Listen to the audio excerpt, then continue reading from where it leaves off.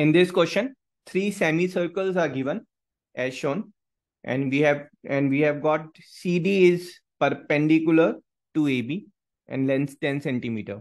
Using this data, we have to find the area of shaded region. So in this question, AC is the diameter of smaller circle. Let's assume this length is A unit and BC is diameter of bigger circle. Let's assume this is B unit and diameter of the biggest circle that's AB that will be A plus B unit. So for bigger circle, let's assume the center is lying somewhere here and this center is O. This is the center of the bigger circle. So let's join the length DO.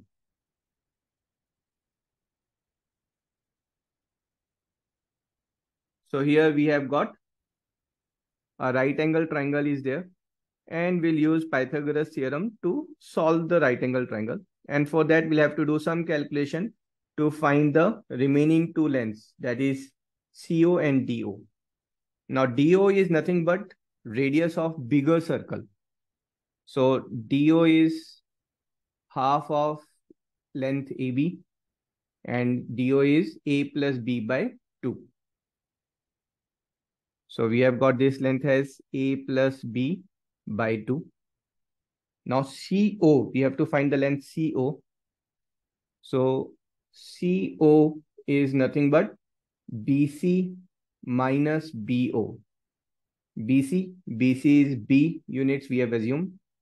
And BO is radius of bigger circle, which is A plus B by 2. We have just calculated A plus B by 2. Solving it, the length CO that we are getting is B minus A by 2. So this CO is coming as B minus A by 2. We'll solve this question in two ways. So this is first way by Pythagoras theorem.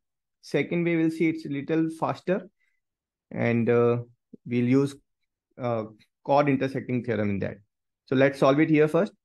So now we have got the three sides and let's find the use the Pythagoras theorem and see what result we are getting here. So using Pythagoras theorem, we know hypotenuse square so we'll say in triangle DCO, hypotenuse square, that's DO square is equals to DC square plus CO square. Now DO square is A plus B by 2 whole square. This is B minus A by 2 whole square plus 10 square. Okay, so this DC is actually 10 so this is 10 square plus CO is B minus A by 2 whole square.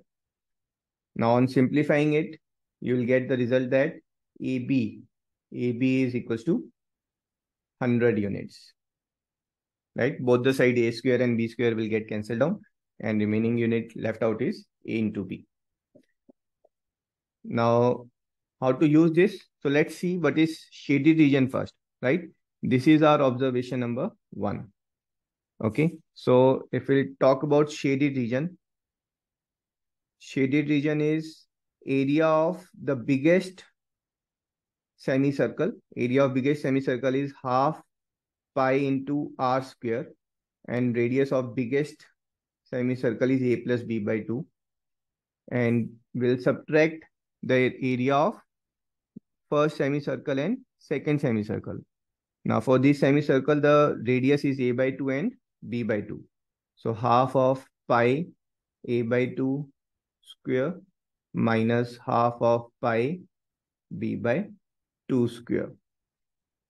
Now in this we'll take half and pi common.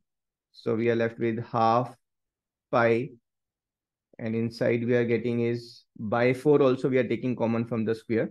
Inside we are getting is a square plus b square plus 2ab minus a square minus b square.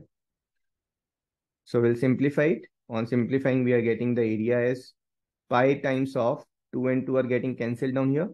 So pi times of AB upon 4. And this value of AB which we have calculated here.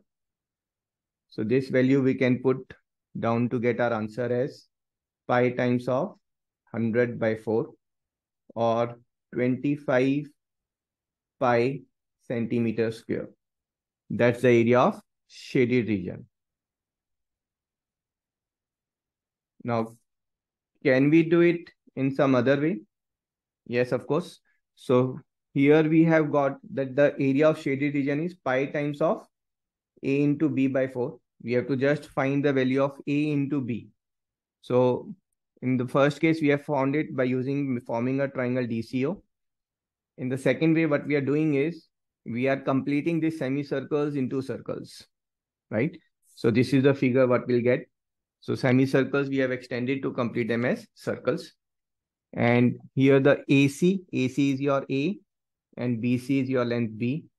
And by symmetricity, if we'll extend this line, this line will be like this. Okay, so this is your C, this is your D, and this will also be 10 centimeter. So if you'll apply intersecting chord theorem, intersecting chord theorem. So if the two chords are intersecting each other, then the product of corresponding lengths are equal. So AC into BC. Okay, the C is already there. So let's assume this point as E. So AC into BC is EC into DC. Now AC is A, BC is B, EC, EC is your 10 and DC is 10. So we are getting this A into B is 100 and area of shaded region that we have calculated earlier. So this is area of shaded region. So you will say, we'll put the value of this A into B above. So area of shaded region is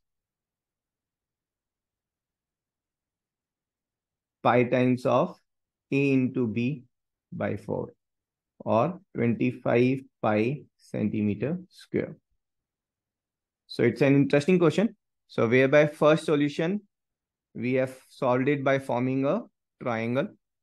And in the second solution, we have solved it by using intersecting chord theorem. I hope you enjoyed the solution. We'll see you in next video. Till then, tata, bye-bye.